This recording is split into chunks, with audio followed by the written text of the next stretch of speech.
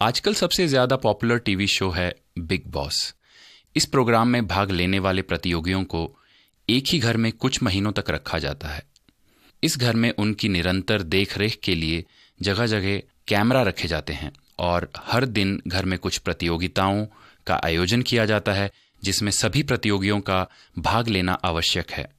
ऐसे अनेक कॉन्टेस्ट और व्यक्तिगत वोटिंग के द्वारा कौन सा प्रतियोगी घर में रहेगा और किसी प्रोग्राम से हटा दिया जाएगा, उसका चुनाव किया जाता है। सभी लोग बेझिझक और बिना चुके इस प्रोग्राम को देखते हैं और उसका आनंद उठाते हैं। असल में एक ऐसा ही बिग बॉस शो यथार्थ में चल रहा है और हम सब उस कार्यक्रम का हिस्सा हैं। बिग बॉस और कोई नहीं, स्वयं परमेश्वर है और बिग बॉस का घर ये दुनिया है। आए दिन हमारे जीवन में कई प्रतियोगिताओं को रखा जाता है। इन प्रतियोगिताओं में हम भाग भी लेते हैं मगर उस पर हमारी जीत और हार का निर्णय केवल परमेश्वर ही सही मायने में दे सकते हैं। कुछ लोग अपने जीवन काल की पूर्ति के बाद इस घर से हट जाते हैं और कुछ इस घर में वास करते रहते हैं। मगर समस्या ये है कि हम प्रभु, द बिग बॉस की शक्ति और उनके नियमों का उल्लंघन कई बहाने देकर कर देते हैं।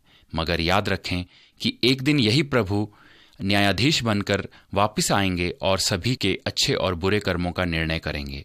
और उससे संबंधित प्रतिफल को प्रदान करेंगे। और इससे हम ना तो मुक्ति पा सकते हैं और ना ही छुप सकते हैं, क्योंकि ये बिग बॉस सब कुछ देख रहे हैं और परख भी रहे हैं।